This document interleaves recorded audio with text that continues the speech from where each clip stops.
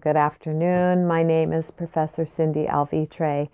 Uh, I'm faculty here in the American Indian Studies program, and uh, my affiliation is with the Gabrielino Tongva tribe, who are the original people of Los Angeles County, Orange County, and the Southern Channel Islands. The original people, First Nations people of this area, the Gabrielino Tongva, were on this land or have been on this land for at least 10,000 years, according to archaeological history.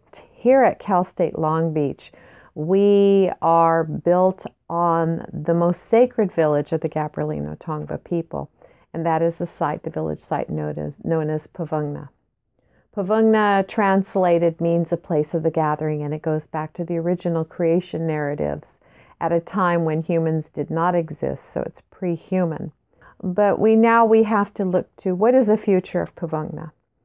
Um, how well informed are the students on campus, the faculty, the administration, and even expanding out from that, the, the citizens of Long Beach and the citizens in California and throughout in this problem of having a sacred site that is located within an educational institution? Will the university continue to maintain that respect and provide the access to the tribe so that they can continue to do ceremonies, that they continue to have a place to gather at?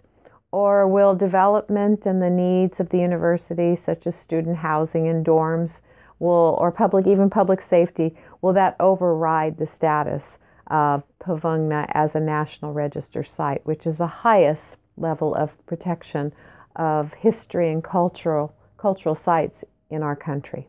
It is the place where the spiritual philosophy of most Southern California Indian tribes emerged from.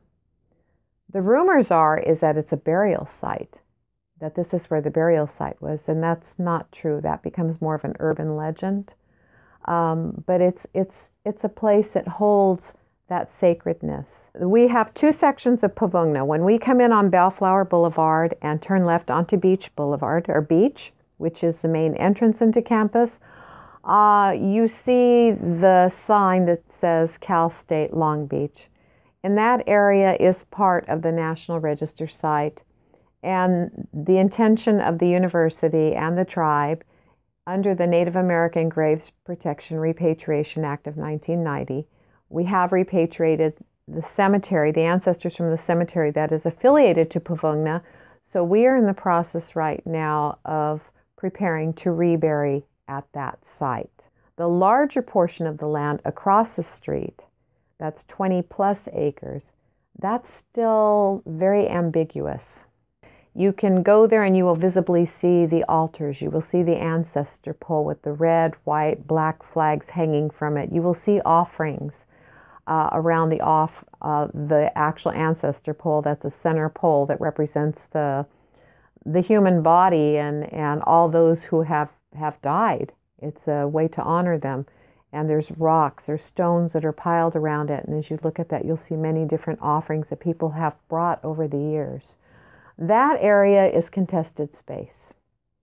That's that's the question, that's the problem. I'm here, it's 2015. My predecessors have struggled and uh, been active to protect Puvungna. But what happens with the next generation? The only way we can really protect it is to make sure that people are educated. And how do you accomplish that? You have to use different venues to, to reach people. You can write about it, but sometimes visuals and having people have direct experience coming to visit the site. There's many people who are not going to have that opportunity to really visit the site.